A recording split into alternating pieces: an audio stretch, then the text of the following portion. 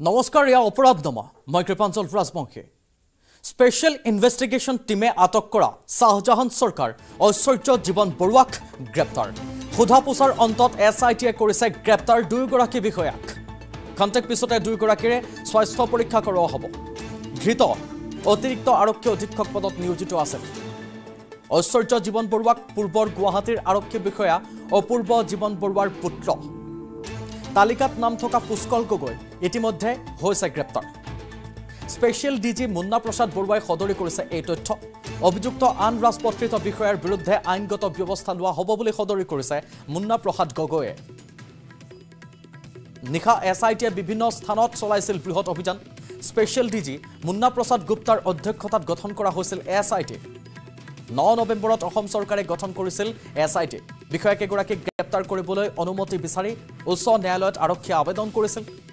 আৰক্ষীৰ আবেদনত অনুমতি দিছিল গুৱাহাটী উচ্চ ন্যায়ালয়ে। বিপ্লৱ কুমাৰ শৰ্মাৰ প্ৰতিবেদনত উল্লেখ আছিল আটাইকেইগৰাকীৰ নাম। কিছুদিন পূৰ্বে বিভাগীয় ব্যৱস্থা গ্ৰহণৰ নিৰ্দেশো দিছিল মুখ্যমন্ত্ৰীয়ে। ৰাকেশ পালৰ কাৰ্যকালত দুহেজাৰ তেৰ চনত পৰীক্ষা হৈছিল। দুহেজাৰ চৈধ্য আৰু পোন্ধৰ চনৰ বিভিন্ন পদত নিযুক্ত হৈছিল এইসকল বিষয়া। এশ বিয়াল্লিছগৰাকী বিষয়া বিভিন্ন পদত নিযুক্ত হৈছিল। অংশুমিতা গগৈ নামৰ এগৰাকী যুৱতীয়ে প্ৰথমে পোহৰলৈ আনিছিল এ পি এছ চি নিযুক্তিৰ কেলেংকাৰী সেই সময়ৰ এ পি এছ চিৰ অধ্যক্ষ ৰাকেশ পালৰ গ্ৰেপ্তাৰো হৈছিল এই কেলেংকাৰীত। তেওঁৰ সৈতে বাৰগৰাকী গ্ৰেপ্তাৰ হৈছিল। কিছুদিন পূৰ্বে জামিনত মুক্তি লাভ কৰিছে ৰাকেশ পালে।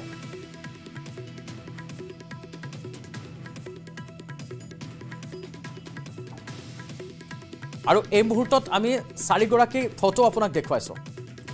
শ্বাহজাহান চৰকাৰ একাধিক্ৰমে সোঁফালৰ পৰা শ্বাহজাহান চৰকাৰ পুষ্কল গগৈ শ্বাহজাহান চৰকাৰ পুষ্কল গগৈ কল্যাণ কুমাৰ দাস ফাৰুক আহমেদ আৰু ধ্ৰুৱজ্যোতি বৰুৱা। ফটো দেখুৱাইছোঁ আপোনাক এই মুহূৰ্তত। ধ্ৰুৱজ্যোতি বৰুৱা বাওঁহাতে ফাৰুক আহমেদ সুকন্যা দাস আৰু এয়া পুষ্কল গগৈ।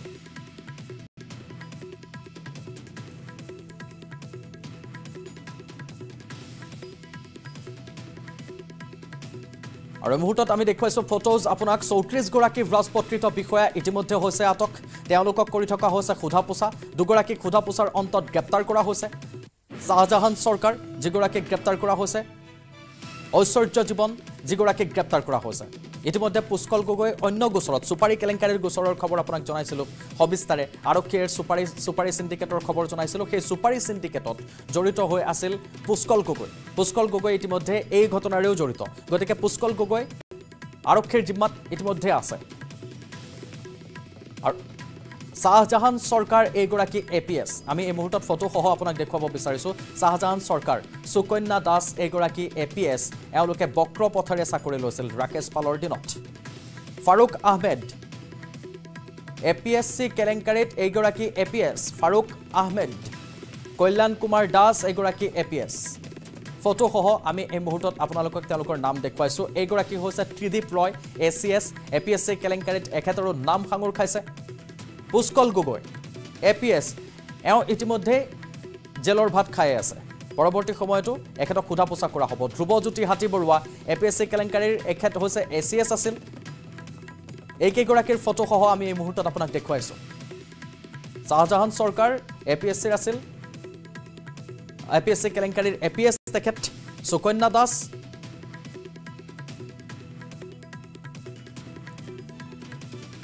ফাৰুক আহমেদ পুষ্কল গগৈ। সুকন্যা দাসক ইতিমধ্যে দেখুৱাইছোঁ ফাৰুক আহমেদ ধ্ৰুৱজ্যোতি বৰুৱা কল্যাণ কুমাৰ দাস। এইকেইগৰাকীৰ ফটোসহ আমি ইতিমধ্যে আপোনালোকক দেখুৱাইছোঁ। এওঁলোক এ পি এছ চি কেলেংকাৰীত নাম সাঙুৰ খাইছে ত্ৰিদীপ ৰয়সহ।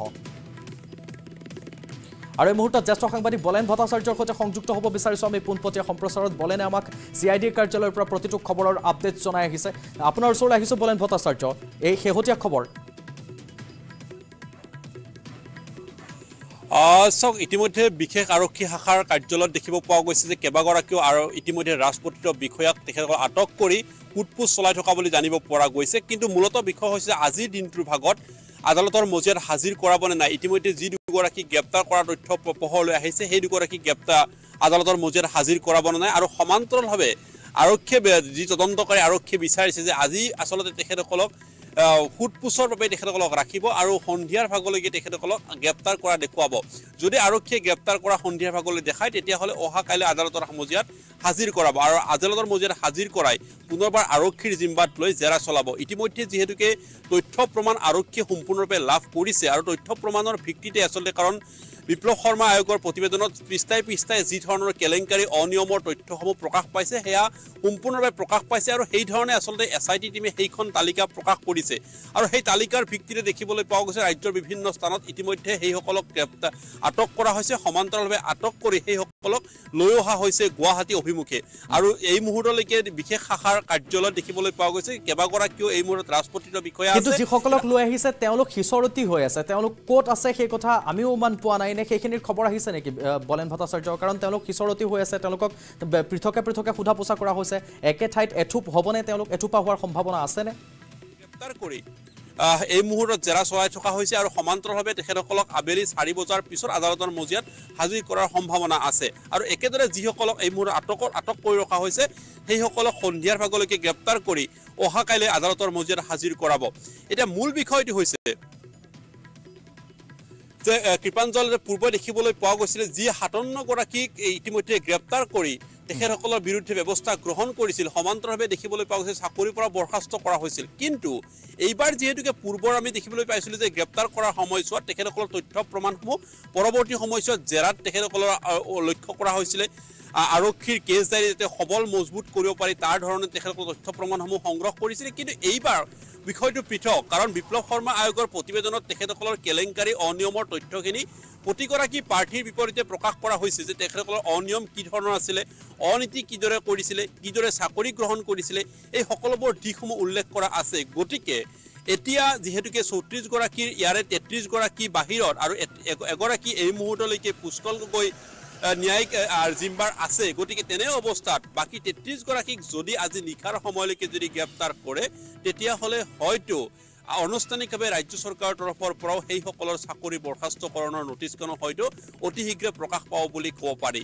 গতিকে অনিয়ম অনীতিৰ ক্ষেত্ৰত যে চৰকাৰ কঠোৰ আৰু শূন্য সহনশীল স্থিতি গ্ৰহণ কৰাৰ ক্ষেত্ৰত মুখ্য সেই সময়ৰ সৰ্বানন্দ সোণোৱাল চৰকাৰৰ পৰা আমি দেখিবলৈ পাইছিলোঁ যে তেখেতসকলে কঠোৰ স্থিতি গ্ৰহণ কৰিছিলে আৰু যাৰ কাৰণে এ পি এছ চিৰ দৰে সেই ভয়ংকৰ কেলেংকাৰীৰ যি গুটি তেখেতসকলে উভালিবলৈ সক্ষম হৈছিলে। দেখি আৰু তাৰ পিছত এতিয়া মুখ্যমন্ত্ৰী হিমন্ত বিশ্ব শৰ্মাৰ এই কঠোৰ স্থিতি। কিন্তু মূল কথাটো হৈছে যে দুই হাজাৰ তেৰ বৰ্ষৰ এইসকল প্ৰাৰ্থী সমান্তৰালভাৱে দেখিবলৈ পোৱা গৈছে। কৃপাঞ্জল দুই হাজাৰ চৈধ্য বৰ্ষৰ যি বিসংগতিৰে পৰীক্ষা অনুষ্ঠিত হৈছিলে সেই বিসংগতিৰে পৰীক্ষা অনুষ্ঠিত হোৱা প্ৰতিবেদনখনো ইতিমধ্যে বিপ্লৱ শৰ্মা আয়োগে দাখিল কৰিছে। এতিয়া দুই হাজাৰ তেৰ বৰ্ষৰ যি ধৰণে এই প্ৰতিবেদনৰ ভিত্তিত ব্যৱস্থা গ্ৰহণ কৰিছে এছ আই টিয়ে সমান্তৰালভাৱে দুই হাজাৰ চৈধ্যৰ প্ৰতিবেদনখনৰ ভিত্তিতে কি ব্যৱস্থা গ্ৰহণ কৰিব চৰকাৰে সেয়াও হৈ পৰিছে লক্ষণীয়। নিশ্চয়।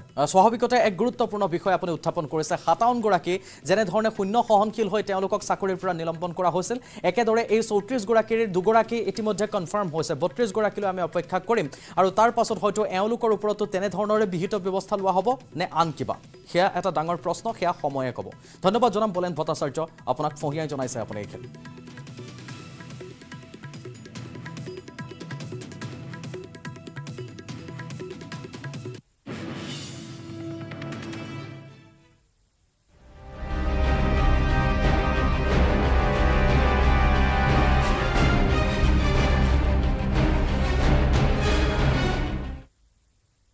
মহানগৰীত আকৌ এটা মৃতদেহ উদ্ধাৰ হৈছে।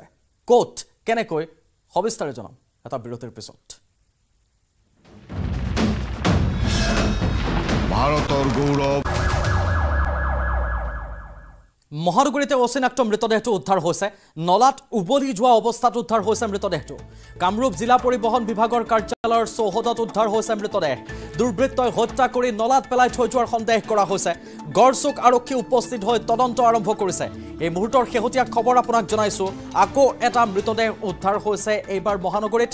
কামৰূপ পৰিবহণৰ কাৰ্যালয়ৰ সমীপত কোনোবাই হত্যা কৰি পেলাই থৈ গ'ল এইটো মৃতদেহ। কোনে পেলালে কোনে মাৰিলে সেই কথা এতিয়ালৈকে জানিব পৰা হোৱা নাই। এইটো অচিনাক্ত অৱস্থাত আছে এতিয়াও মৃতদেহটো। অৱশ্যে তৎকালীনভাৱে ইয়াৰ পৰিচয় উদ্ধাৰ কৰিবলৈ যত্নপৰ হৈছে আৰক্ষী। মহানগৰীত আন এটা অচিনাক্ত মৃতদেহ উদ্ধাৰ হৈছে। এটাৰ পাছত আনটোকৈ অপৰাধজনিত ঘটনাৰ সংখ্যা বৃদ্ধি পাবলৈ ধৰিছে মহানগৰীখনত। মহানগৰীত এইবাৰ এটা অচিনাক্ত মৃতদেহ উদ্ধাৰ হৈছে। পুৰুষৰ মৃতদেহ বুলি জানিব পৰা গৈছে। নলাত উবলি যোৱা অৱস্থাত এই মৃতদেহটো প্ৰত্যক্ষ কৰিছে স্থানীয় লোকে। কামৰূপ জিলা পৰিবহণ বিভাগৰ কাৰ্যালয়ৰ নিচেই সমীপত আছে। আনকি সমীপৰ ভিতৰ ভাগত থকা নলাটো অৰ্থাৎ চৌহদৰ ভিতৰতে হ'ব সেই চৌহদৰ ভিতৰত উদ্ধাৰ হৈছে। দুৰ্বৃত্তই হত্যা কৰি নলাত পেলাই থৈ গৈছে। এয়া কোনো কৰ্মচাৰী নে বাহিৰৰ পৰা কোনোবাই আহি ইয়াত হত্যা কৰি পেলাই থৈ গৈছে নে অন্য কিবা কাৰণত এই মৃত্যু হৈছে সেই কথা জানিব পৰা হোৱা নাই। কিন্তু চৰকাৰী কাৰ্যালয় কামৰূপ পৰিবহণৰ কাৰ্যালয়ৰ চৌহদত থকা এই নলাটোত কোনে পেলাই দিলে মৃতদেহ তাক লৈ প্ৰশ্ন উত্থাপিত হৈছে।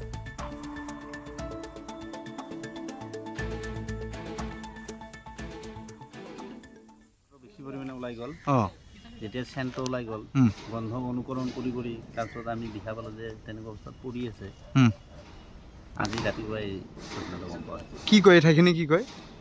ঠাইখিনি আমাৰ দ্বিতীয় আমাৰ ড্ৰাইভিং টেষ্ট হয় ইয়াৰ ভিতৰত। এই ড্ৰাইভিং টেষ্ট ট্ৰেকৰ ভিতৰতে হৈছে ঘটনাটো। অঁ আহ, এনে চি- চিনাকি নেকি মানুহজন বা দেখিছে? তেখেতক আমি আগে পিছে দেখা নাছিলোঁ। বা সেনেকৈ দেখা পোৱা নাই আৰু। অঁ এনে কি পিন্ধি আছে তেওঁ? এতিয়া এতিয়া হাফ পেণ্ট সেনেকুৱা টাইপত পিন্ধি আছে আৰু মাথাটো সম্পূৰ্ণ সোমাই আছে নালাটোত। কি সন্দেহ কৰে এনে? এইটো হয়তো তেখেতে ৱালৰ পৰা জাপ মাৰোঁতে পৰি যোৱা। এনেকুৱা এটা সন্দেহ হৈছে যে পৰি তাতে নালাটোত সোমাই গ'ল সেইটো উঠিব নোৱাৰিলে। এনেকুৱাই আৰু। এনে চিনাকি নাই ন? তেখেতক আমি আগে পিছে দেখা নাছিলোঁ। মহানগৰীত আন্তঃৰাষ্ট্ৰীয় হাৱালা চক্ৰ উৎখাত। আঠগাঁৱত জব্দ হৈছে এক কোটি ঊনসত্তৰ লাখ সত্তৰ হাজাৰ টকা। এটা অট্টালিকাৰ ভাড়াঘৰৰ পৰা এইখিনি টকা জব্দ হৈছে। আয়কৰ বিভাগৰ অভিযানত টকাখিনি জব্দ হৈছে। দুজন লোকৰ পৰা জব্দ হৈছে এই বৃহৎ পৰিমাণৰ ধনৰাশি। লোক দুজন ৰাজস্থানৰ দেৱকৰণ সিং আৰু মনোজ কুমাৰ বুলি জানিব পৰা গৈছে। আমি দেখুৱাইছোঁ এই মুহূৰ্তত দেৱকৰণ সেনক আৰু মনোজ কুমাৰক। আয়কৰ বিভাগৰ জেৰাত ধনৰ উৎসৰ বিষয়ে দিব পৰা নাই উত্তৰ। এয়া শেহতীয়াকৈ মহানগৰীত এক কোটি ঊনসত্তৰ লাখ সত্তৰ হাজাৰ টকা। হাৱালা চক্ৰ উৎখাত কৰিছে আঠগাঁৱৰ পৰা জব্দ কৰিছে এইখিনি টকা। এটা অট্টালিকাৰ ভাড়াঘৰৰ পৰা টকাখিনি জব্দ হৈছে। দুয়োগৰাকীক আমি দেখুৱাইছোঁ দেৱকৰণ সেন আৰু মনোজ কুমাৰ। আয়কৰ বিভাগে সুধিছে ক'ৰ পৰা পাইছ টকাখিনি এতিয়ালৈকে কিন্তু উত্তৰ দিব পৰা নাই।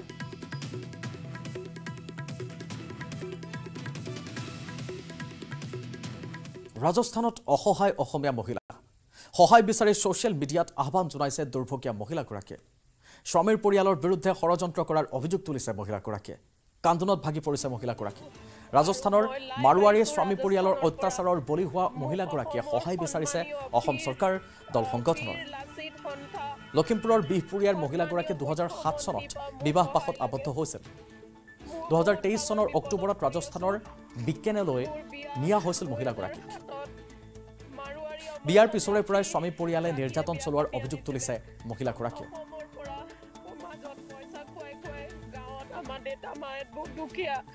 মোক বিয়া দিলে বুজি বাজি নাপালে যিটো মানুহে মোক বিয়া পাতি আনিছিলে তেখেতৰ নাম অমৰচন ৰাঠি আজি মই মোক ইমান বছৰে তেখেতে অকল ৰাখেলৰ নিচিনা ৰাখিলে কিন্তু মই আজি ৰাজস্থান আহি মই মই কৈছোঁ মোক মই আহিছোঁ মোক সন্মান বিচাৰি।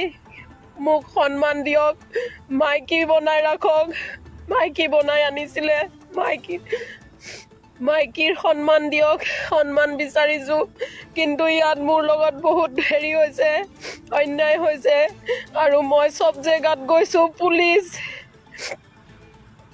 পুলিচত সহায় বিচাৰিছোঁ ইয়াত কানুনী কোনেও মোক সহায় কৰা নাই। মই ইয়াত অকলে পৰি গৈছোঁ।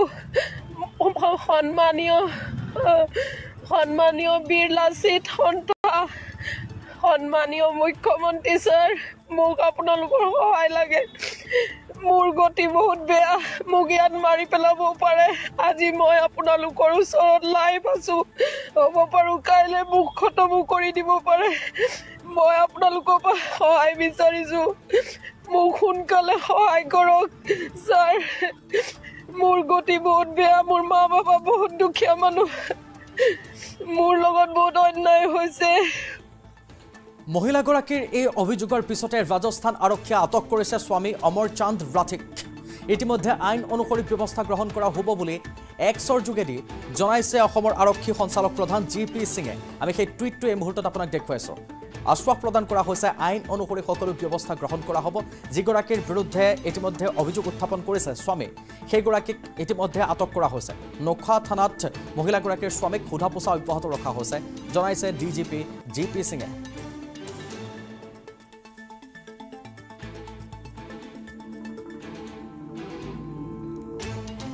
আনফালে ৰাজস্থানত স্বামীৰ অকথ্য নিৰ্যাতনৰ বলি হৈ আবদ্ধ হৈ থকা অসম জীয়ৰীগৰাকীৰ ঘৰ লখিমপুৰ জিলাৰ বিহপুৰীয়াৰ দুই নং বৰবালিত। ষোল্ল বছৰ পূৰ্বে সামাজিক বিবাহ সম্পন্ন হৈছিল ৰাজস্থানৰ অমৰচন্দ ৰাথিৰ সৈতে। প্ৰথম অৱস্থাত সকলো ঠিকেই আছিল যদিও যোৱা আঠ ন বছৰে পিতৃগৃহৰ লগত কোনো যোগাযোগ নাছিল। শেহতীয়াকৈ সামাজিক মাধ্যমত ভিডিঅ' ভাইৰেল হৈ পৰাৰ পিছত পিতৃগৃহৰ হাহাকাৰ পৰিৱেশৰ সৃষ্টি হয়। জীয়ৰীক উদ্ধাৰ কৰিবলৈ অসম চৰকাৰক হাতজোৰ কৰি আহ্বান জনায় পিতৃ মাতৃয়ে সতীৰ্থ সাংবাদিক সঞ্জীৱ লাহনে আমাক সবিস্তাৰে তেওঁলোকৰ বাসগৃহৰ পৰা জনাব। মহিলা ইতিমধ্যে ৰাজস্থানত স্বামীৰ গৃহত আবদ্ধ হৈ আছে। বহু কষ্ট সহ্য কৰিবলগীয়া হৈছে উদ্ধাৰ কৰিবলৈ আবেদন নিবেদন কৰি আছে ফেচবুক জৰিয়তে। এতিয়া সেই মহিলাগৰাকীৰ ঘৰত বৰ্তমান মই উপস্থিত আছোঁ পিতৃগৃহত উপস্থিত আছোঁ আৰু পিতৃগৃহত আচলতে পিতৃ পিতৃ মাতৃ জীয়াই আছে এতিয়াও পুনম সিঙৰ। পিতৃ মাতৃ এতিয়া অস্থিৰ হৈ আছে যিহেতু ছোৱালীগৰাকী অসমৰ জীয়ৰীগৰাকীয়ে পুনম সিঙে। যেনেদৰে পতিৰ নিৰ্যাতন বৰ্ণনা কৰি ফেচবুকত আপলোড দিছে সেই কথাখিনি শুনাৰ পিছত তেওঁলোক ইতিমধ্যে আশ্বস্ত হ'ব পৰা নাই। যিমান পাৰি সোনকালে যাতে পুনম সিঙক উদ্ধাৰ কৰে তাৰ প্ৰতি আবেদন জনাব বিচাৰিছে। মই কথা পতাৰ যত্ন কৰিম। যে পুনম সিং আপোনাৰ ছোৱালী নহয় জানো? যি। ইতিমধ্যে ফেচবুকত যিবোৰ কথা ওলাইছে আবেদন কৰিছে সোনকালে উদ্ধাৰ কৰিবৰ কাৰণে। কি ক'ব? সমগ্ৰ বিষয়টোত কি ক'ব? কিমান দিনৰ আগত বিয়া হৈ গৈছিল? বিয়াটো দুহেজাৰ সাত চনত হৈছিলে। এতিয়া আগত মাজত মানে ঠিকেই আছিলে। কিন্তু আজি কেইবছৰৰ পৰা ন আঠ ন বছৰৰ পৰা তাৰমানে তেনেকৈ যাতায়াত নাই নাহেও। আৰু আহিবলৈও নিদিয়ে। আহিবলৈ নিদিয়ে? আহিবলৈ নিদিয়ে। ৰাজস্থানত নিয়ে যোৰহাটত আছিলে যোৰহাটৰ পৰা ৰাজস্থান নিলে। এতিয়া তাতে আছিলে এতিয়া যেতিয়া ফেচবুকত যেতিয়া আহিছে তেতিয়া মই গম পাইছোঁ। তাৰ আগত আপোনালোকৰ লগত ফোন ফোন যোগে যোগাযোগ নাছিল নাই। নাছিল ফোন যোগাযোগ নাই। মানে ইমান যে কষ্ট পাই আছে সেই বিষয়ে আপোনালোকক কোৱা নাছিল? গম পোৱা নাছিলোঁ। আপুনি কি কয়? তেওঁ যিগৰাকী স্বামী ফোন কৰিবলৈও নিদিয়ে নেকি? তেনেকুৱা নেকি? এ, তেনেকুৱাই হ'ব পাৰে। তেনেকুৱা হ'ব পাৰে। তেনেকুৱা হ'ব এতিয়া কি আবেদন জনাব আপুনি? মইতো জনাবলৈ বিচাৰিছোঁ মইতো যাব নোৱাৰোঁ। আৰু মোৰ হাতত টকা পইচাও নাই গতিকে চৰকাৰে অসম চৰকাৰে কিবা সহায় কৰি যেন তেনে উদ্ধাৰ কৰি আনিব লাগে। মাতৃ আছে বাৰু মাতৃৰ লগত কথা পতাৰ যত্ন কৰিম। যিহেতু মাতৃ বুলি ক'লে জীয়েকৰ প্ৰতি যি অন্তৰ কান্দি থাকে একেৰাহে নহয় জানো? আপোনাৰ ছোৱালী দুগৰাকী ৰাজস্থানত কান্দি আছে। আপোনাৰ ওচৰলৈ আহিবলৈ মন কৰি আছে আহিবলৈ দিয়া নাই। ইতিমধ্যে পিতৃয়ে উল্লেখ কৰি ফোনো কৰিবলৈ নিদিয়ে ফোন যোগে যোগাযোগ কৰিবলৈ নিদিয়ে। কি ক'ব এই মুহূৰ্তত? এই মুহূৰ্তত কি ক'ম আৰু এতিয়া আমাৰ অসম চৰকাৰে মানে যেনেকৈ উদ্ধাৰ কৰি আনিব লাগে সেইটোৱে জানো আৰু মই একো জানো নাজানো। আপোনালোকতো ফোন যোগে কথা পতা নাই আজি বহুত দিন আমাৰ লগত কথা পতা নাই। আপোনালোকে গৈ চাইছেনে নাই? পুনমৰ যি স্বামী গৃহ গৈ এবাৰমান গৈছেনে? একবাৰ গৈছিলে? একবাৰ মাত্ৰ গৈছিলোঁ। হয়। একবাৰ গৈ প্ৰায় বিছ দিনমান থাকিলোঁ। কেনেকুৱা তেওঁলোকৰ ব্যৱহাৰ? ব্যৱহাৰটো তেতিয়া ভালেই। তে নতুন নতুনতে গৈছিলোঁ। তাৰমানে বিয়া দিয়া অলপ দিনৰ পিছতে তেওঁ আমাৰ জোৱাই শহুক মৰি থাকিলে। সেই তেতিয়া গৈছিলোঁ। ছোৱালীজনী ইয়াতে আছিলে লৈ পেলাই মই গৈছিলোঁ থ'বলৈ।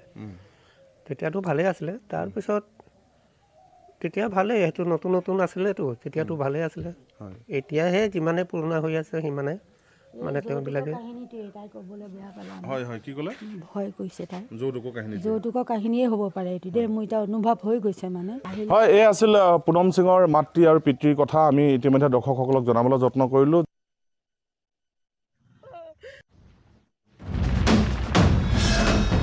ভাৰতৰ গৌৰৱ